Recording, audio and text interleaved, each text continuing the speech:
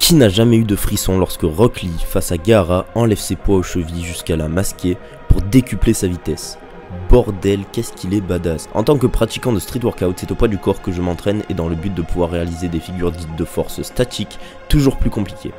Et si tu combines les deux infos que je viens de t'énoncer à l'instant, pop, tu tombes sur le défi que je me suis lancé, s'entraîner avec des poids aux chevilles comme Rock Lee pendant 21 jours.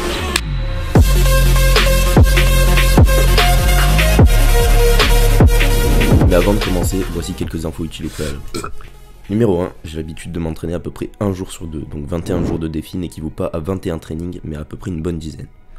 Numéro 2, ce sont des poids de 1,5 kg chacun que j'utilise, donc au total 3 kg au pied. Numéro 3, 3 kg au pied, c'est juste énorme. Quand tu sais qu'en street workout, la majeure partie des figures se font avec les jambes tendues et que les figures fonctionnent avec le principe de levier. Ce sont tes bras qui font le levier pour pouvoir faire décoller tes pieds. Et plus la charge est loin de ton corps et plus la charge est lourde, et alors plus il est difficile de résister contre celle-ci lorsque celle-ci est attirée par la gravité. Et ouais mon pote, pourquoi tu crois qu'en street workout on n'a pas de legs? Tout l'intérêt de ce défi pour moi est de rajouter de la charge au niveau de mes jambes, là où c'est le plus difficile de la soulever, pour habituer mon corps à celle-ci, et que dès que je m'en sépare, je me sens plus léger et donc littéralement je m'envole. Et enfin, quatrième info à prendre en compte et pas des moindres, mon poids n'a pas changé du début jusqu'à la fin de l'expérience. Et croyez-moi que c'est un facteur à prendre en compte car chaque centimètre et chaque kilo de poids de corps en street workout peuvent faire les différences. Maintenant que vous avez assimilé ces infos, on peut passer au début de l'expérience qui consiste à tester mon niveau en street workout, que ce soit avec ou sans les poids.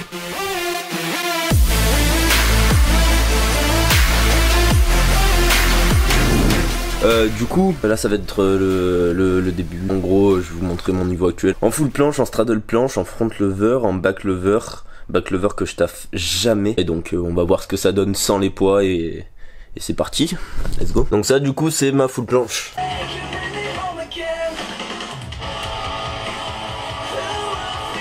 Oh. C'était pas ouf. Je vais essayer d'en envoyer une deuxième, voir ce que ça donne.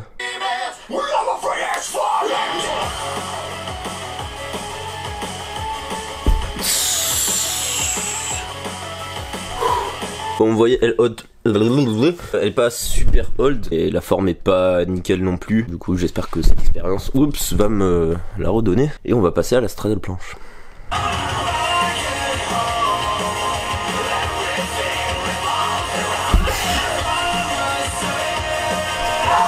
Je sais pas ce que ça rend du tout, ça se trouve je un portefeuille, je sais pas. Bref, voilà, ça c'est ma straddle. En fait elle était dégueu, euh, j'avais les jambes pliées et tout, ça doit venir d'un manque de force euh, aux, épaules je pense. Je vais faire une deuxième straddle au cas où avec une peut-être une meilleure forme. Ok là je vais taper euh, une autre straddle planche mais cette fois main sur le sol. je crois que j'ai encore moins, on va juste voir ce que ça va donner. On est là pour essayer.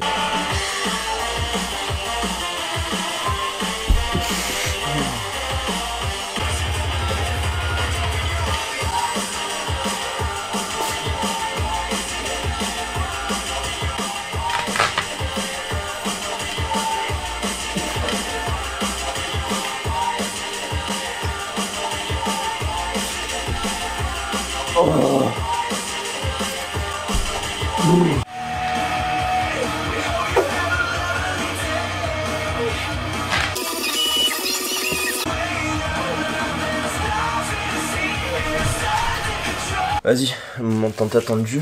Petit bébé de 3 kilos réunis euh, tous les deux. 1,5 kg chacun. Faut savoir que j'ai vraiment jamais fait de lesté aux chevilles comme ça de toute ma vie. La dernière fois que j'ai mis du lesté, c'était, euh, je crois c'était un sixième. C'était pour faire la course avec un collègue. C'était mis euh, peut-être 1 kg à chaque cheville et on avait couru avec. Je crois que c'est le dernier lesté de ma vie en sixième. Donc, tac, tac.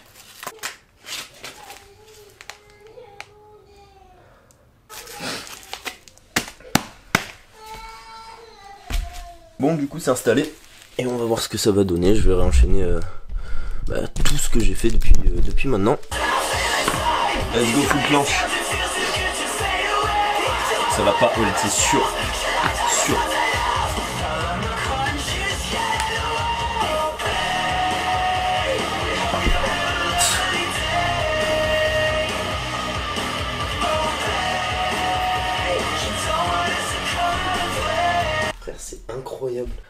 Incroyable ces trucs, gros. Tu te sens comme une merde. C'était sûr que ça allait pas tenir. Même en advanced tuck, euh, ça, ça a pas tenu, putain. J'aimerais au moins, au moins décoller la, la straddle planche. Bon, mon ordi vient de s'éteindre. On s'en fout, on s'en fout. Des ailes, c'est précieux, ça me précède, je suis un monsieur. Bien sûr que je suis un homme, je regarde mon droit dans les deux yeux. Il y voit la force, la force. Putain, la papa deux comme le tigre. Oh non. Faut la forme et la manière. En vrai de vrai, franchement, je m'attendais à pire. Je m'attendais à pire niveau straddle. La foule, je savais que je l'aurais pas eu. Mais euh, la straddle, elle a genre à peine décollé. Elle a, elle a même pas hold, mais, euh, je m'attendais à pire. Donc euh, ça va, je suis relativement content. On va voir pour le front. Putain, j'espère au moins deux petites secondes. Tu vois, genre un truc qui hold un minimum. Ce serait cool quand même. Vas-y, go. Allez, ça.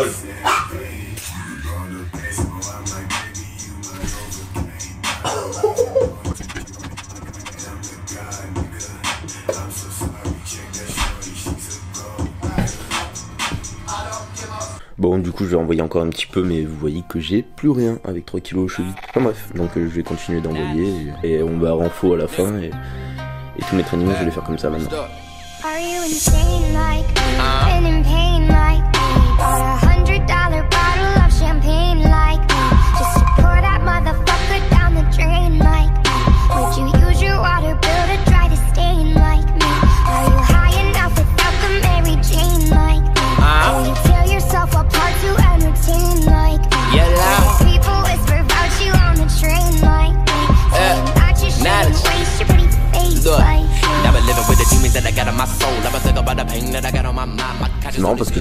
Comme une merde avec ces trucs aux, chevilles, mais par contre, oh là là, je suis en train de déjà m'imaginer au, au moment où je vais les enlever. J'aimerais trop que ça fasse gros training, genre grosse motivation. D'un coup, je me sens super léger. Ah putain, ça va être euh, jouissif, je sens. Ah putain, rien que pour ça, on va, on va s'entraîner dur. D'ailleurs, en parlant de s'entraîner dur, finalement, comment je structurais mes entraînements? Tout d'abord, il faut savoir qu'en street workout, et encore plus particulièrement dans le domaine du statique, on cherche à travailler la force. Pour tenir des figures compliquées, il faut de la force, et devine quoi, ça tombe super bien. Figure-toi que pour gagner de la force, pour être plus fort, il faut tout simplement forcer. Assez logique, non? Bon, plus précisément, il faut forcer contre résistance avec en théorie une charge comprise entre 90% et 100% de ta RM, ta rep max. Je ne vais pas rentrer plus dans les détails, mais en gros, en envoyant des planches et des front levers, même si ces figures ne tiennent pas, tu forces entre 90% et 100% de ta rep max pour espérer les tenir. Et en faisant ça, ton corps va capter qu'il a intérêt à s'adapter et donc renforcer tes muscles pour que la prochaine fois qu'il soit soumis à la même contrainte, il soit un peu plus prêt, un peu mieux préparé. Pour conclure, très grossièrement, on peut dire que se lester les chevilles rendent les figures plus compliquées. Plus c'est compliqué, plus tu forces, plus tu forces et plus tu gagnes de la force et à terme, moins ce sera compliqué de tenir ces mêmes figures. Revenons à comment je m'entraîne. Schématiquement, on peut découper mon entraînement en trois parties. Premièrement, échauffement articulaire et musculaire. Basique. Premier jour, on va s'entraîner uniquement en lesté. Du coup, on va s'échauffer, on va commencer euh, l'échauffement musculaire avec euh, quelques équilibres et tout, avec euh, ces merdes au poignet, aux chevilles. Deuxièmement, après s'être bien échauffé, j'envoie tout simplement les figures en essayant de les tenir. En gros, je force. Classiquement, je fais une planche, je prends du repos, puis un front lever suivi d'un back lever. Et je fais ça entre 5 et 10 fois selon l'énergie que j'ai sur le moment. Et troisièmement, je fais du renforcement en envoyant des variantes plus simples des mêmes figures que je veux travailler. Classiquement, j'enchaînais 4 exercices. Tuck planche ou tuck press selon mon envie, front lever pull-up, lean planche et ses différentes variations, et Efesto. Puis je prenais du repos et je faisais ça 4 fois. Et pour le front et les festos, je variais une fois sans élastique, une fois avec élastique léger, deux fois avec élastique moyen. Ça peut faire débile le mec qui met un élastique avec des poids en plus. Le mec se leste pour se délester. Mais je vous jure que ça change un truc. Je sens beaucoup plus mes abdos parce que du coup mon poids il est beaucoup plus déporté vers mes chevilles. Voilà tout pour ma façon de m'entraîner pendant ce défi et on passe de suite à la première semaine.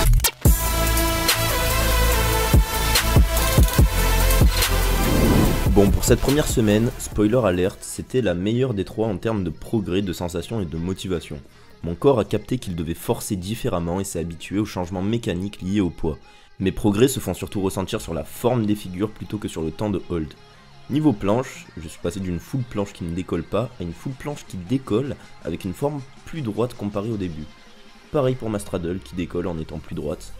Niveau front lever, je suis passé d'un front bancal à un front qui hold droit les premières fractions de seconde, Et pour le back lever, on peut dire que je l'ai débloqué, il tient droit et je peux sans trop forcer le tenir 3 secondes. Globalement, la première semaine est celle que j'ai préférée parmi les trois. Bon, la deuxième semaine, c'est le drame. Pour tout vous dire, de base... Quoi? T'es déçu parce que j'ai pas mis une transition trop stylée avec Rock Lee et de la hard wave? Bon ok, je t'en fais. Non, je rigole. De base, le défi devait se faire sur deux semaines, mais tellement celle-ci était nulle, j'ai décidé de le prolonger sur une troisième. Bon, aussi parce que j'avais envie de potentialiser encore plus le résultat que j'allais avoir en enlevant les poids, et parce que j'avais peur d'être déçu de celui-ci tellement la deuxième semaine était claquée.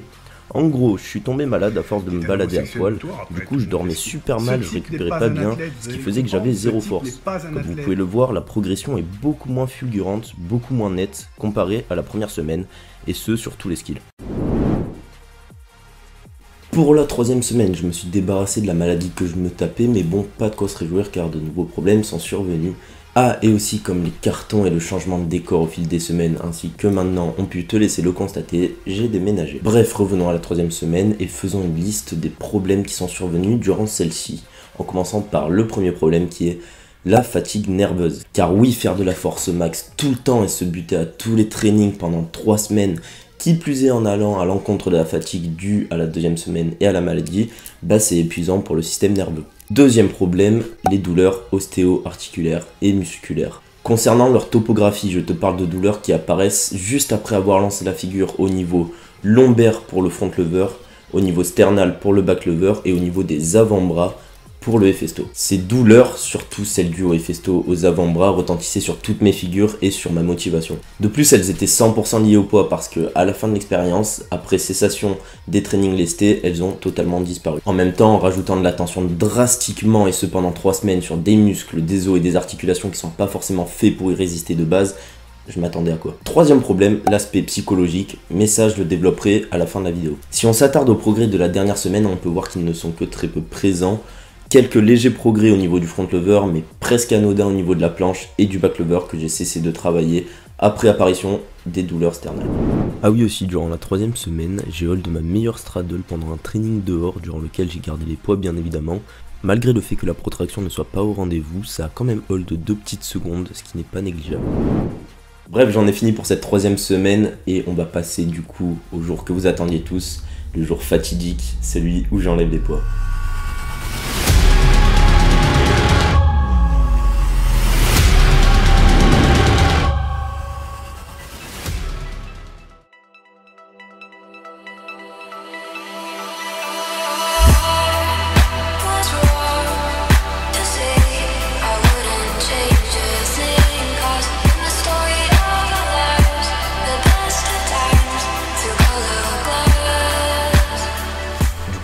Je vais essayer de... Enfin, j'ai fait une série d'échauffements, d'habitude j'en fais deux. Donc la deuxième, je vais la faire euh, en enlevant les poids, juste voir ce que ça fait.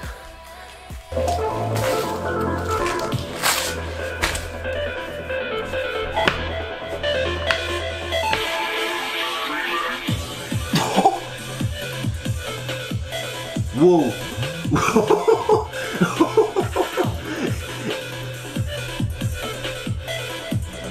Les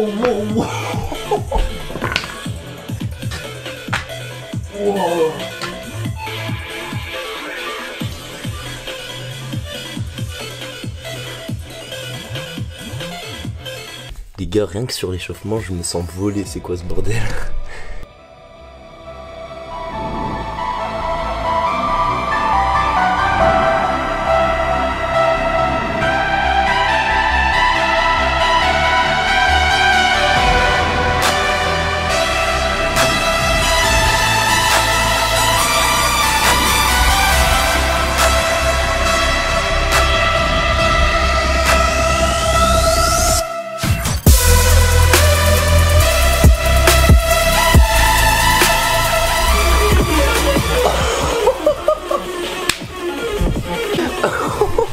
J'en reviens pas, ouais, j'ai tenu je sais pas combien de secondes de full gros. Oh. C'est incroyable. Putain, faut que j'essaye la presse. Faut que j'essaye de presser. Oh, je m'en re- je m'en remets pas. Putain, je vais essayer le front lever. Je vais faire exactement le même processus avec le front avant de, de refaire une planche.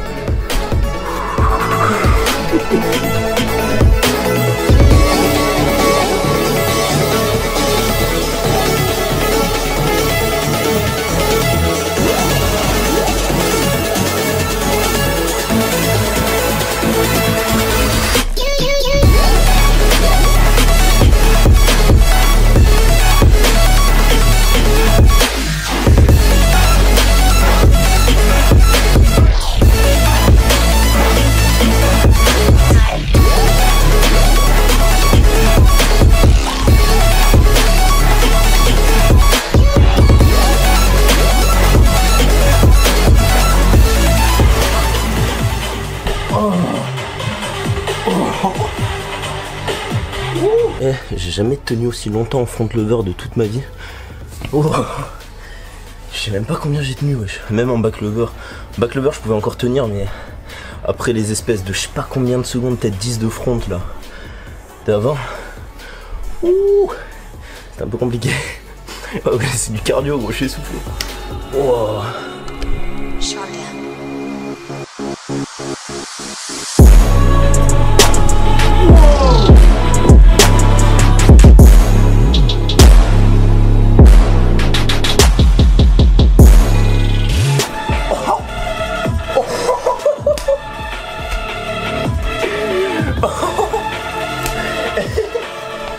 Si on fait un bilan des perfs, niveau full planche, je suis passé de 1 seconde à presque 5 secondes, donc ça nous fait plus 4 secondes de gagné. Niveau front, je suis passé de 5 à 13 secondes, donc plus 8. Niveau backlever, je suis passé de 3 à 8, mais c'est pas très représentatif car j'étais pas à fond ni au jour 0 ni au jour final. Je pouvais le tenir bien plus. Et niveau handstand push-up, sans même les travailler, je suis passé de 8-9 reps à 13-14 reps. Et niveau skills que j'ai débloqué, il y a le Hefesto, non, je rigole. La full press, et du coup la straddle press, le front lever pull-up touch, et je suis pas très loin du front touch tout court. Bien sûr, c'est pas encore débloqué de façon clean, c'est bon de le notifier.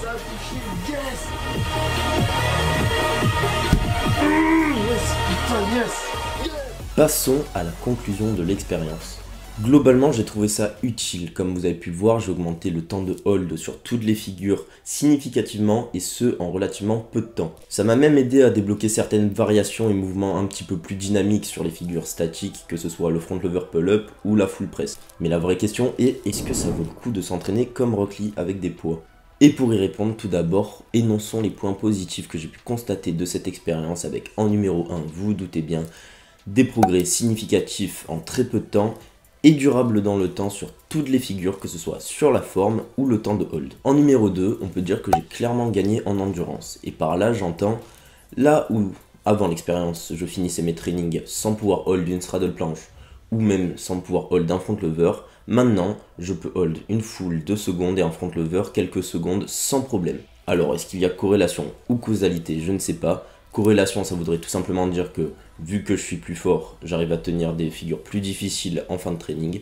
Causalité, ça voudrait plus dire que ça serait dû à mon système nerveux qui s'est habitué à envoyer plus d'influx durant tous mes trainings pendant 3 semaines. Et donc, en enlevant les poids, il serait devenu plus performant et en lui demandant en gros un effort moins intense d'un coup, il se crame moins vite et se préserve mieux sur tout l'entraînement. Troisième point positif. Ta mère avec ta moto, toi. Respect, sa mère la la mets dans mon fric clac, de pute. Troisième point positif, tu te sens comme une machine à rajouter de la difficulté sur des figures qui sont déjà compliquées de base. Et personnellement, au moins pour la première semaine, j'y trouvais de la motivation et ça me satisfaisait. Et maintenant, passons au point négatif avec, en premier point, bien évidemment, faire du lesté tout le temps, c'est inconcevable et c'est un chemin direct vers la blessure. Imagine que sur 3 semaines, je travaillais 4 figures et sur 3 de ces figures, j'ai ressenti des douleurs à la fin de l'expérience. Donc imagine si j'avais continué, j'aurais aggravé ces douleurs et j'en aurais déclenché d'autres jusqu'à ce que je sois obligé d'arrêter. Sachant que le street workout c'est déjà un sport sujet à blessure, en plus avec ce procédé, eh bien tu augmentes exponentiellement ton risque de blessure au fur et à mesure que tu pratiques. Deuxième point négatif, j'ai dit avant que je me sentais comme une machine. Mais paradoxalement, je me sentais aussi comme une merde car en rajoutant ces poids, ce qui est normal en fait, mes perfs ont baissé. Sauf que au fur et à mesure de l'expérience, j'ai associé les perfs que j'avais avec les poids à mes vrais perfs. Et donc ça, plus une progression qui stagnait et des perfs du coup qui étaient pas ouf, ça mettait un petit coup au mental et ça me permet de faire une transition vers le troisième point négatif. Clairement un des plus importants mais aussi un des plus sous-cotés je pense qui est l'aspect psychologique. En gros quand je parle d'aspect psychologique c'est parce que durant la première semaine les progrès étaient flagrants et j'ai été du coup boosté pour continuer le défi. C'était super motivant. Lors de la deuxième semaine, j'ai lié le manque de progression à la maladie et à la fatigue que je me tapais durant mes trainings. Mais durant la troisième semaine, je m'étais débarrassé de la maladie et j'avais pas progressé pour autant. J'avais l'impression d'être resté toujours au même point depuis la fin de la première semaine. On a vu que c'était pas vraiment le cas, mais ça rajouté plus aux douleurs qui s'étaient déclenchées et plus le fait que j'avais associé les poids à mon vrai niveau et du coup que je me sentais comme une merde, bah, c'était vraiment pas top. C'était vraiment démoralisant et en bref, j'avais plus vraiment envie de continuer le défi, donc heureusement qu'il n'a duré que 3 semaines, car même s'il devait durer plus, je pense que j'aurais arrêté à la fin de cette troisième semaine. Et même si on résume ma progression du jour 0 au jour 21, on voit qu'il y a une progression avec les poids. Mais c'était pas flagrant non plus pour moi qui ai vécu ces 3 semaines alors que je me butais à l'entraînement. Et pour dire, il y avait même certains entraînements où j'avais l'impression de régresser. Et bordel, qu'est-ce que c'était frustrant. Du coup, j'en ai fini avec les points négatifs et les points positifs. Et du coup, pour répondre à la question, est-ce que ça vaut le coup de s'entraîner avec des poids comme Rock Lee? La réponse serait oui. Oui. Globalement, ça m'a fait une bonne expérience et j'ai bien aimé me mettre dans la peau de mon personnage préféré dans Naruto. Lui là. Mais si je devais réitérer l'expérience, je la ferais différemment. Déjà de 1, je pense que je prendrais des poids légèrement plus légers, je dirais 1 kg par cheville pour faire 2 kg au total.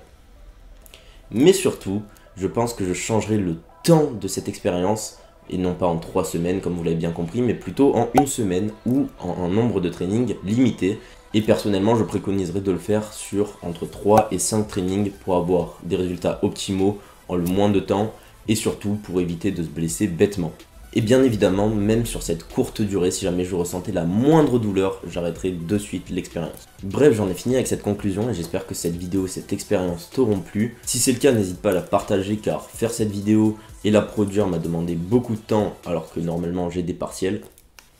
Si jamais tu me fais un petit screen et que tu me repostes cette vidéo en story sur Insta, ça serait le meilleur moyen pour moi de me soutenir gratuitement. Tu sais, tu pourrais aider certaines personnes à tomber sur ma vidéo et à y trouver peut-être les mêmes intérêts que toi tu y as trouvé, que ce soit de la motivation, de l'expérience ou tout simplement du divertissement. N'hésite pas à faire jouer l'algorithme en ma faveur pour me mettre en avant et à t'abonner.